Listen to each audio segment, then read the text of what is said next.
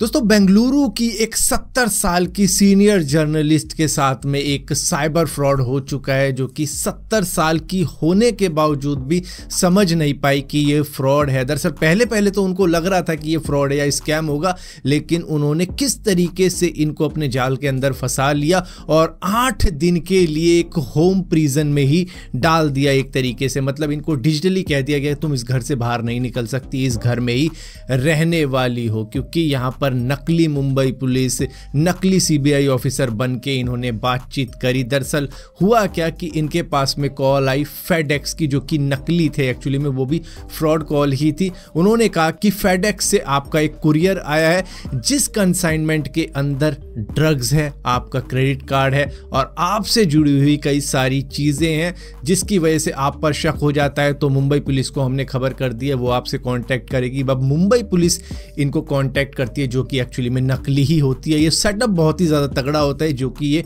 बताती है। इनके साथ में एक करोड़ बीस लाख का फ्रॉड हो चुका है। दरअसल 15 दिसंबर को ये सारी शुरुआत होती है इनके साथ में और 23 दिसंबर तक ये अपने घर में ही रहती है। इन आठ दिनों तक ये अपने घर से कदम बाहर तक नहीं निकालती है। ये कहती है कि शुरू शुरू में तो मुझे लगा शायद फ्रॉड होगा, लेकिन जब एक हायर ऑफिशियल जो कि एक पुलिस वाला होगा, उनकी कॉल आती है, इनको वो वेल ड्रेस्ड के अंदर थे और उनका सेटअप भी काफ़ी ज़्यादा तगड़ा था और वीडियो कॉल पे वो पूरी बात हुई, जहाँ पर उन्होंने उनका जब सेटअप देखा, उनको पूरी तरीके से यकीन आ गया कि ये तो पुलिस वाले क्योंकि दूसरे नकली पुलिस वाले भी उनके पास में आ रहे थे कि जय हिंद सर, हमने कोई चोर पकड़ लिया है, हमने कोई सस्पेक्ट पकड़ा है, या फिर कोई आ जाता है कि साहब, ये ये काम है। मतलब वो भी वेल ड्रेस के अंदर होते हैं और उनके पास में कॉल पे कॉल भी आ रही होती है दूसरे फ़ोन के साथ में, जिसको देखकर उनको ऐसा लगता है कि ये तो असली भी डीसीपी हैं और इनके साथ में बात हो रही है। वो जिस तरीके से इंग्लिश बोलते हैं, उनकी इंग्लिश भी काफ़ी ज़्यादा फ्लॉलेस होती है और जिस तरीके से वो बात करते हैं, उससे भी लग जाता है कि ये बिल्कुल असली ही पुलिस वाले हैं। ऊपर से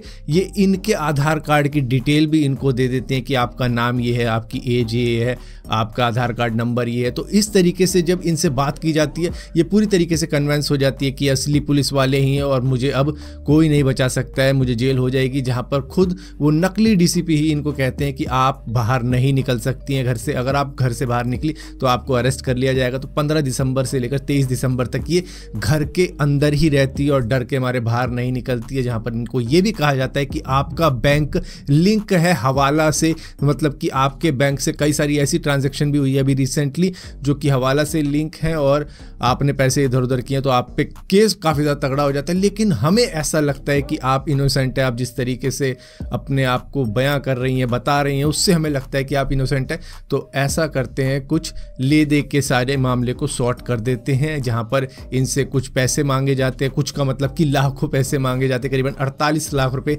इनसे मांगे जाते हैं कि आपको इतने रुपए देने पड़ेंगे, तब जाके आपका पीछा छूट सकता है इस केस के साथ में। लेकिन उसके बाद में फिर बैंक की तरफ़ से भी कॉल आती है कि भैया, इतने लाखों रुपए आप किसको भेज रहे हो? मतलब सब नकली होता है। एक एक करके अलग अलग जने इनसे लूटते हैं और टोटल मिलाकर मुंबई पुलिस सीबीआई ऑफिसर और नकली बैंक वाले बन के ये जो साइबर क्रिमिनल हैं, ये इनसे एक करोड़ बीस लाख रुपए ऐंठ लेते हैं, जबकि ये सीनियर जर्नलिस्ट होती हैं सत्तर साल की, ये तब भी नहीं पकड़ पाती। उनको इतने ज़्यादा शातिर हो चुके हैं आजकल के साइबर क्रिमिनल की, जिनके पास में इतना तगड़ा सेटअप रहता है इतने ज़्यादा बंदे रहते हैं, पूरी की पूरी जब वीडियो कॉल चलती है, तब उनके पास में एक ना एक बंदा आता रहता है, ताकि लगे कि असली का ऑफ़िस है, असली का पुलिस स्टेशन है, असली का बैंक है। कुछ इस तरीके से भी अब सेटअप बन चुके हैं। इनके दोस्तों मालदीव्स के प्रेसिडेंट मोहम्मद मैजू घूम के आए हैं चाइना से, जहाँ पर पाँच दिन की उस विज़िट के अंदर इन्होंने पता नहीं कौन कौन सी ताकत की दवाइयाँ ली हैं, जिसके बाद में, यहाँ पर आने के बाद में ये इंडिया को डेडलाइन दे रहे हैं कि 15 मार्च तक की डेट है आपके पास में, उसके बाद में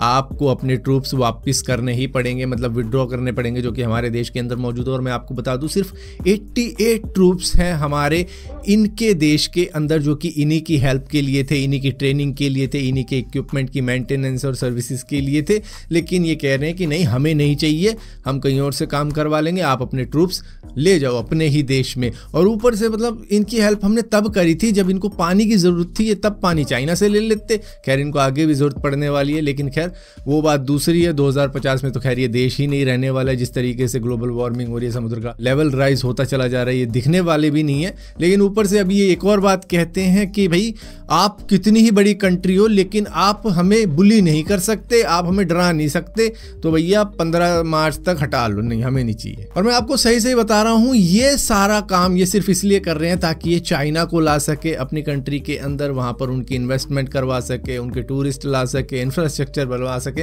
मतलब सारी चीज़ें चाइना से करवा सके, क्योंकि one road one belt initiative के अंदर भी ये इन्वॉल्व थे। खैर, वो हो ना हो, लेकिन हाँ चाइना के